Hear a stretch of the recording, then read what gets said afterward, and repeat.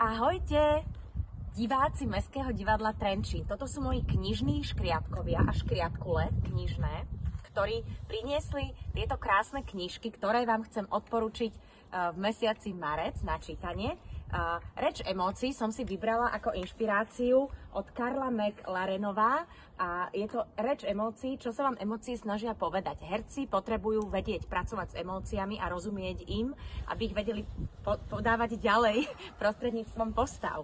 Teraz tu máme Francis Scott Fitzgerald, Nežná je noc. Tento autor ma veľmi zaujímal, pretože napísal uh, Veľkého Gatsbyho a chcela som si od neho niečo prečítať a ženy, ktoré mi nedajú spát, o slávnych cestovateľkách, ktoré sa na vlastnú pesť vydávali za dobrodružstvom. Takže prajem vám pekný marec a mesiac knihy. Ahojte!